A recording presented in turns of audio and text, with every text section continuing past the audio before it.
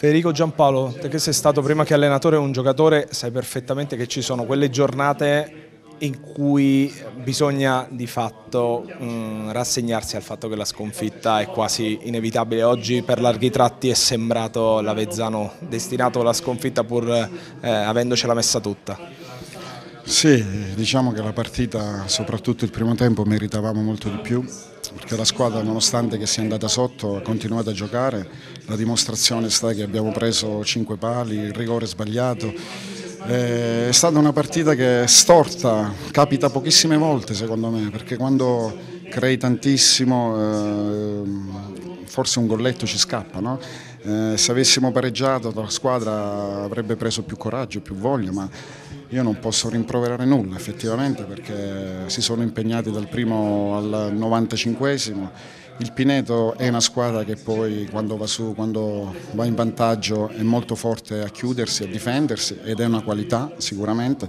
Poi dei giocatori che ripartono bene però mi dispiace perché abbiamo fatto un grandissimo campionato. Io se devo fare un'analisi a 360 gradi sono veramente orgoglioso di aver allenato questa squadra perché mi ha dato tanto, mi ha fatto crescere, abbiamo, abbiamo avuto mh, una crescita sia ai giocatori anche alla società eh, esponenziale, molto, molto bella. È stato un campionato bellissimo sotto i punti di vista questa partita forse ci dava, come posso dire, mm, la ciliegina sulla torta per continuare questo campionato.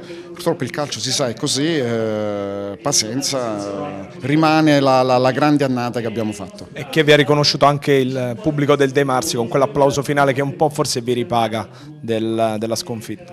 Ma io penso di sì, perché io penso che i tifosi quest'anno si siano divertiti vedendo, vedendo questa squadra eh, ed è stata una cosa bella perché i tifosi dell'Avezzano hanno dimostrato grande professionalità e, hanno, e, e sanno di calcio. Noi quest'anno abbiamo fatto, eh, ripeto, molto bene, abbiamo valorizzato parecchi giovani, abbiamo fatto tanti record per l'Avezzano.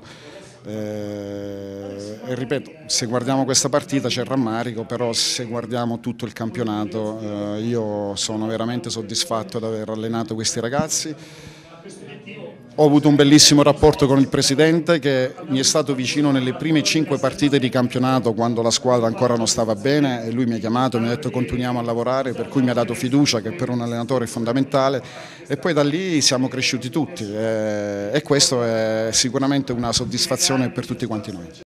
Daniele Maulo, sia sincero, due mesi fa se l'aspettava di ritrovare il Pineto in finale playoff? Ma eh, adesso è facile eh, parlarne. Eh, io ho sempre creduto in questa squadra, nel lavoro e forse qualcuno si è lasciato condizionare un po' da qualche risultato e è andato diciamo, non per il verso giusto. Però come dico sempre, magari come dice un vecchio allenatore, il pallone è una cosa e il calcio è un'altra, quindi per, per parlare di calcio bisogna eh, dare tempo, lavorare e cercare di un attimo di dare fiducia ai, ai componenti di un gruppo. E noi questa fiducia ce la siamo presa da soli andando giorno dopo giorno anche quando nessuno credeva più in noi, quindi questo risultato è un risultato importantissimo che gratifica eh, la società e i ragazzi perché hanno subito eh, delle, diciamo, degli attacchi secondo me fuori luogo e quindi ci tenevano a dimostrare il proprio valore. Il proprio valore. Io avevo detto che potevamo fare una sfida da vincere e ne avremo tratto giovamento tutti quanti. Così è stato, la sfida non è finita. La prima sfida era quella di centrare i playoff e l'abbiamo centrata con merito. Adesso la sfida ce n'era un'altra, è quella di raggiungere la finale. Abbiamo superato il turno e domenica ci prepareremo al meglio per fare questa finale. Eh, sulla partita di oggi, eh, tre ingredienti, ottimo approccio del Pineto, attenzione difensiva e anche un pizzico di fortuna che non guasta. Siamo andati molto lontani da un'analisi seppur sommaria.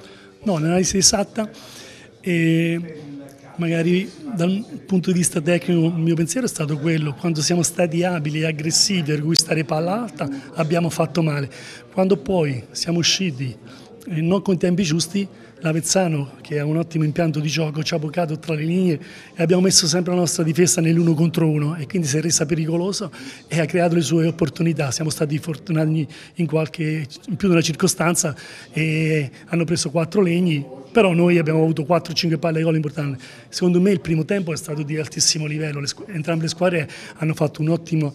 Eh, un'ottima partita e entrambi volevano vincere la gara.